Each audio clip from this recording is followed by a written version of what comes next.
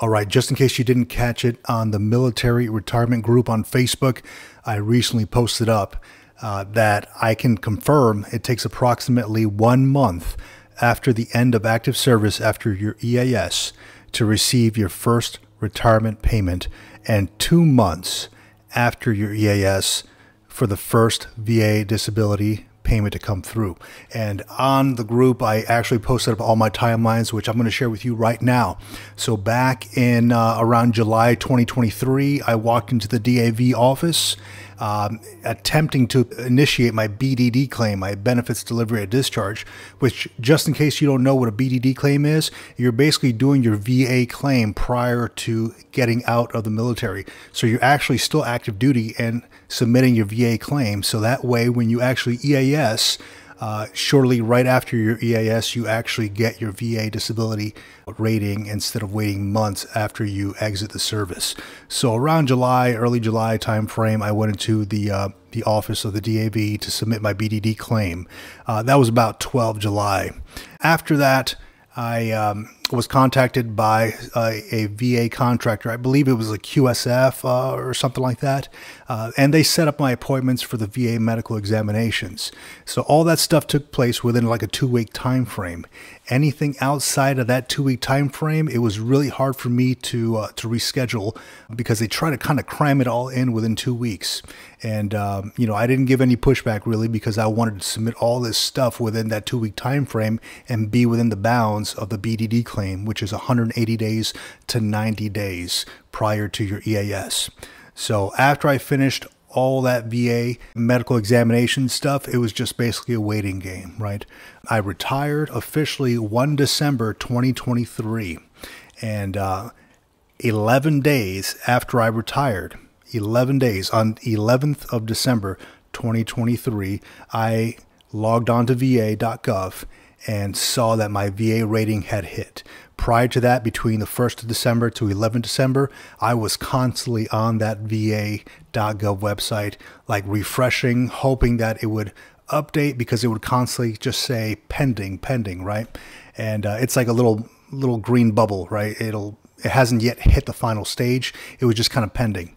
And um, yeah, the 11th of December, 11 days after I EASed, it finally hit. The person I used from the DAV to submit my my VA claim she gave me a call and she gave me all the good news. She's like, hey, based on this, here's what you rate, uh, et cetera, et cetera. So I would immediately went went into the computer and started looking up stuff, uh, what I rate, you know, what I can expect payment, etc. And there was nothing on the VA site saying you know upcoming payment or anything like that. So I was kind of left left in cold on that. Come to January, a month after um, I retired, I received my first retirement payment right? So that was great. You know, I was Chief Officer three when I retired at 20 years, and uh, received my first military retirement payment, which is great. And a month after that, just recently, this past week, on the 1st of February 2024, I received my first VA disability payment along with my second retirement payment. So everything kind of fell in line perfectly.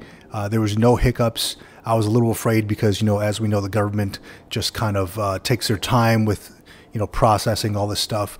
But I believe what helped me out with this process, what made it all streamlined, and from the time I retired in December to the time I actually got my first VA disability payment in February, two months later, what helped out was the fact that I submitted all my BDD stuff on time. I didn't give the VA any troubles. I conformed with their timelines. I showed up when I needed to show up for the VA medical examinations.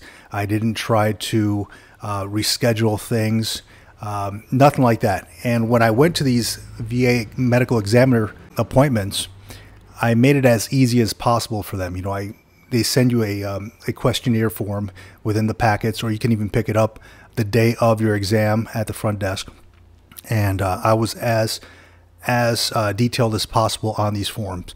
So I actually filled them out here at the house before I actually had my VA appointment. And um, I opened up my medical record. I went into details on times and dates uh, when I had incidents, you know, when I messed up my shoulder, when I had um, surgery on my leg and um, I even took a copy of my medical record, though they even had it digitally at the office. I took a copy over there just to show them, hey, look, here's an extra copy. I tabbed everything out uh, just to make it easier for you to find all the stuff within my medical record. And I heard some horror stories from folks on Facebook and different groups that it's taken them months, months to get their VA stuff situated uh, for whatever reason. I don't know what happened with that, but I can tell you this have all your stuff situated, have all your stuff submitted in time, and uh, don't give the VA any reason to give you any kickback. Show up to your appointments on time and get what you rate. So if you've experienced anything different, any prolonged timelines, please comment below. I'd love to hear it. Um, I'd love to figure out why these things are happening to assist the next person and hopefully getting all this stuff situated on time. So with that, hopefully your stuff is going smoothly as you transition out of the military, whatever branch it may be, and uh, hit me up at thegreenlogbook at gmail.com or listen to our new podcast, the Military Retirement Podcast, on Apple or Spotify. And uh, also hit up the Facebook group, the Military Retirement Group. It's about 1,500 strong right now, right under 1,600. And uh, we're sharing a whole ton of stuff. And we'd love to have you in the group. All right, out here.